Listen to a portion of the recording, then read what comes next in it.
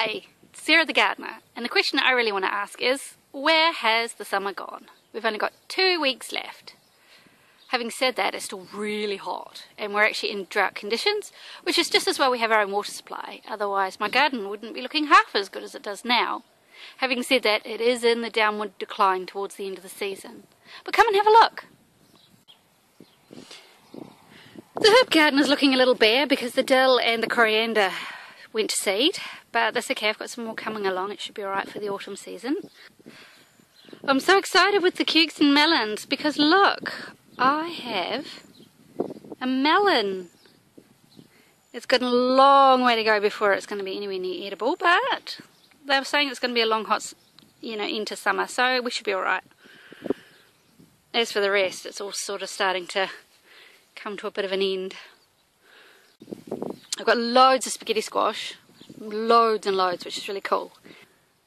I've had an awesome harvest from the potatoes and I've just stuck in another sneaky row to try and get capture the la last of the summer warmth to get one more crop.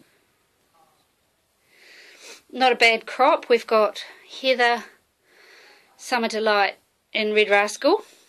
There's also probably the same again of Jersey Bennes, but we've eaten them.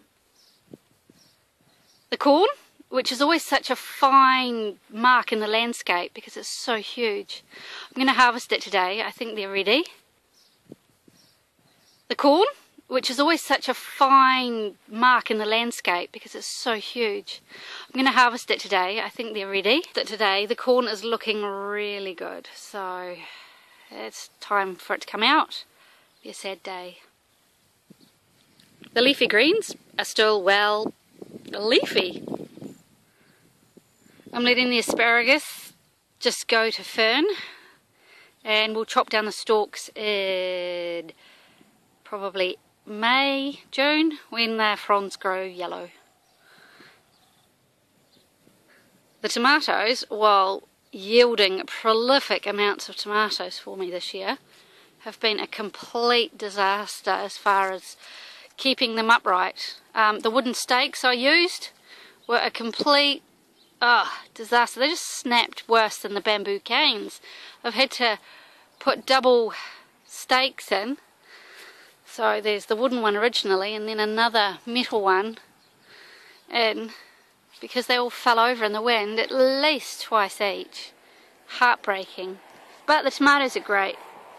So the Tigerella are really prolific but I much prefer the taste of the Tula, which are um, supposed to be a black one, but it's more green than black. But it's still really yummy, so sweet. Got to try it. Um, there's a load of extra peas for a late crop. I didn't actually plant them, they all came up by themselves when I pulled out the last lot, so I just put them in a row. Waste not, want not. Can you see how dry it is? Look how the ground is cracking. We need rain soon. The zucchini has been slowed by powdery mildew, but they seem to have a second lease of life, so we shall start eating them again.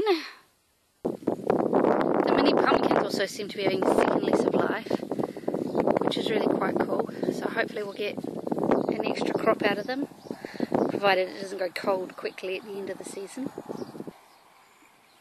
This is part two of another experiment. I planted a little bit of wheat last year. Worked really well as a cover crop, but also worked really well as a mulch. So this year I'm putting it in all the empty beds over the winter. So it'll keep the weeds down, and then I can return it to the soil as a mulch around my plants next summer. The Brussels sprouts are going great guns. Kale, not so good. Lots of infestations this year. I'm growing kohlrabi. I've never grown it before. Hope it tastes nice. All sorts of bits and pieces in here, Romanesco and broccoli, some more kale. So our winter crops started already, which is good. The salad crops are just amazing. And they taste so good.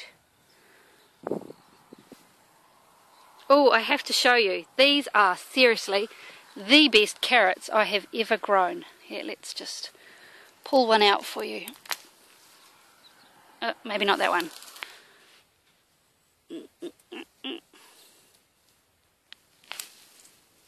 Oh, it's not too bad. Hang on, let me try another one. Let me try another one. Oh! Okay, so most of them haven't been forked. But you have to take my word for them. Most of them look like shop bought carrots. Honestly. My peppers and chilies are just, oh, prolific. Absolutely prolific. I'm so excited. we've got some red ones in there I'll be harvesting today.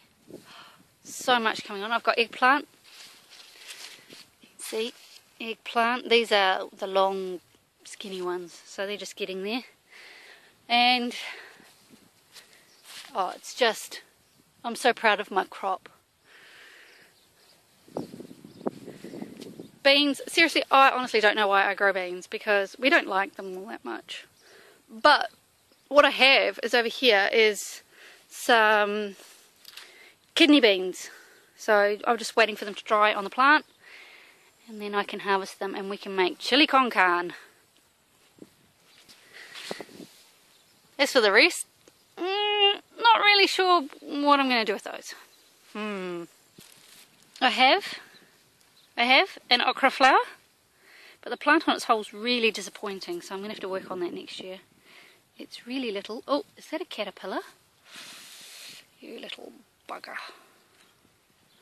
You can die. Hmm. It's okay, he's all gone. My popcorn got savaged by some feral creature, goodness knows what. So I've put a net around it and the rest of them seem to be safe. So hopefully should get a good crop of popcorn. And peanuts. I'm growing peanuts. Really excited about that. Oh, and chickpeas. Although, having said that, the crop itself, I mean, seriously, I don't imagine we're going to get too much hummus out of this. The strawberries are still doing, they're actually still giving us fruit, which is quite strange at this time of year. So, yeah, um, oh, they're so much sweeter at this time of year as well because there's less water about, so the flavours are more concentrated. they are amazing. As for the raspberries, I think I'll have a better crop next year because I know what I'm doing. The Jerusalem artichoke suffered really badly with the wind. It's terrible. I don't even want to show you. Don't look. Look away. Look away. And my Cape gooseberries are doing amazing. And they are so yum. I love them. I have sweet potato. And so this is the garden with two weeks left of summer. It's not looking too bad. And it's given us heaps of produce. Thanks for watching.